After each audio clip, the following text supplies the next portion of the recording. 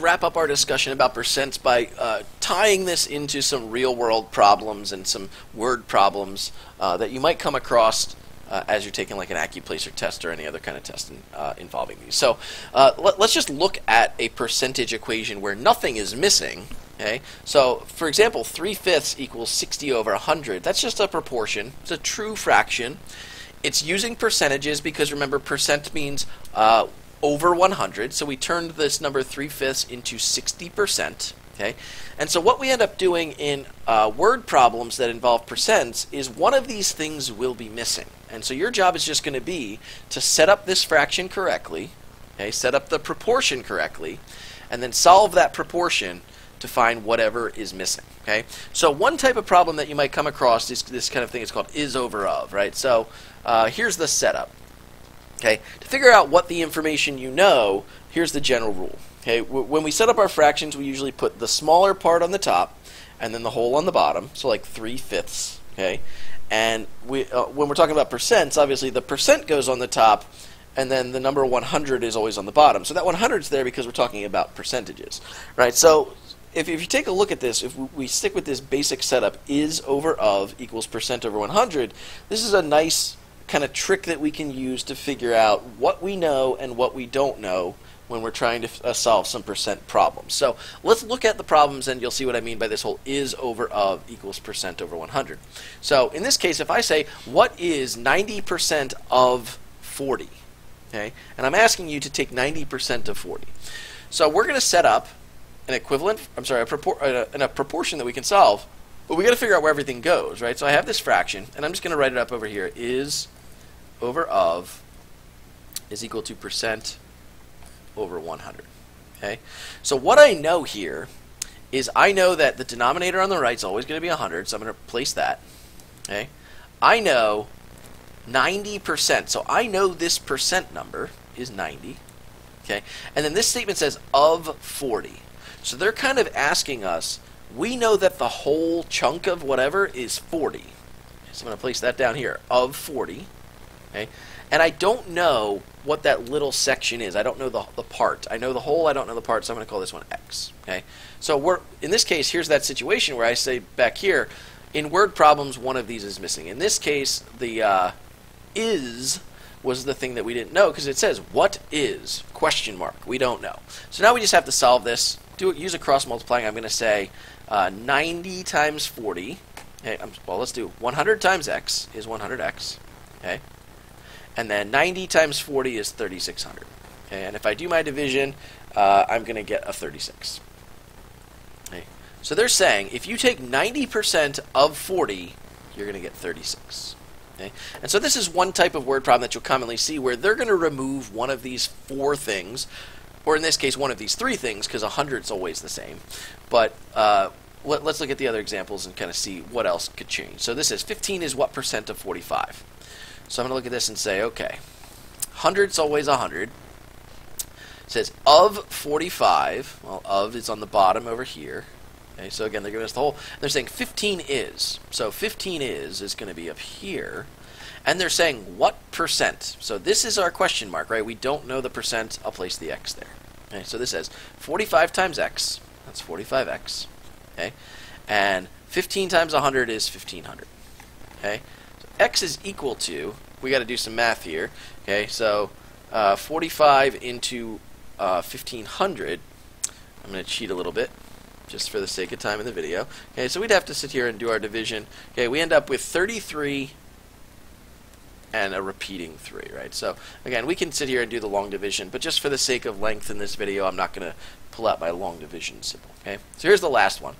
25 is 50% of what number? So let's go back to our standard template. We're going to say, okay, I know that it's always going to be a 100 in the denominator, 50%, so they're giving me the percent, so I'm going to place 50 up here. Okay, and it says 25 is, well, that's this one. Okay.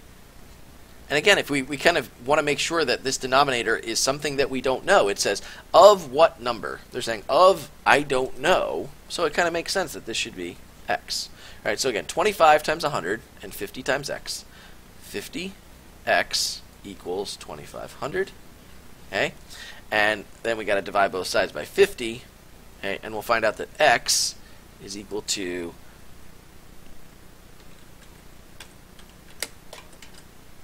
Fifty. Okay, so this is going to be 50. Okay. And if you think about common sense, it says 25 is 50% of what? Well, 50% is a half. If I take half of 50, I get 25. So it all kind of works out, uh, if we think about logically if this makes sense, right, that x should be 50. All right, so let's finish up by looking at uh, some other word problems. Okay, and so this is kind of, again, taking it into a, a context, right? We're not just thinking about uh, is and of, right? But it, it kind of all falls into the same type of thing. So it says you're given 18% of a $200 prize pool. How much money did you get? So we're going to set up is over of equals percent over 100. I'm going to do that. It says is over of is equal to percent over 100. So I'm going to look at what I have. So this is going to be 100 on the bottom. They gave me the percents 18. Okay, and it says of $200. Right, so even though this is kind of a more complex word problem, I'm not just asking what is 18% of 200. We can still pull these keywords out and say of 200. So 200 is my denominator, okay, because that's where of is, and I don't know this one. Right, so this case where um, you know, uh, you can do the cross multiplication. Our answer is going to be uh, come out to be that x is 36. Okay, so that means that $36 is 18% of my $200 prize pool. Right? Um, and you, again, you can do the cross multiplication. The point is, you need to be able to set up this equation correctly. Is over of equals percent over 100. So here's our last problem. Yeah, I won't do all of them. Okay, it says you are given $150, which is 10% of a prize pool. And now we have to figure out, well, what does that mean? Okay, so again, 10 over 100,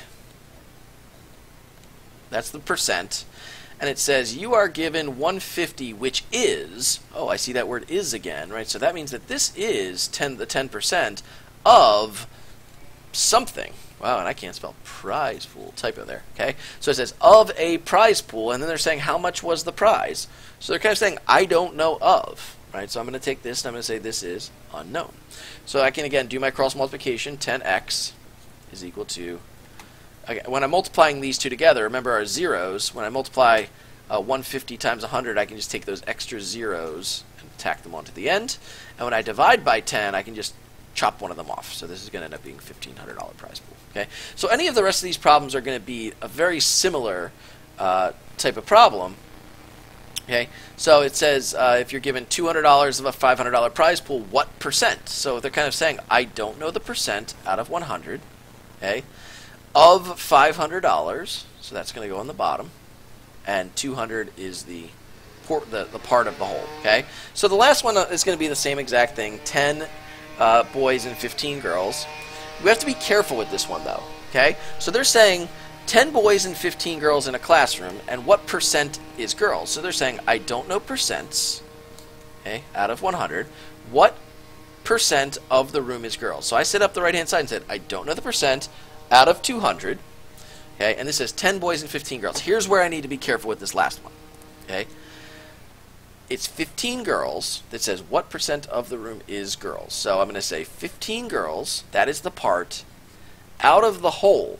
Well, the whole classroom is made up of boys and girls. So that's going to be the 10 boys and the 15 girls. That is 25 people, right? So this last, last one's a little tricky. You need to think about the fact that when we're talking about percents, we're talking about part over whole.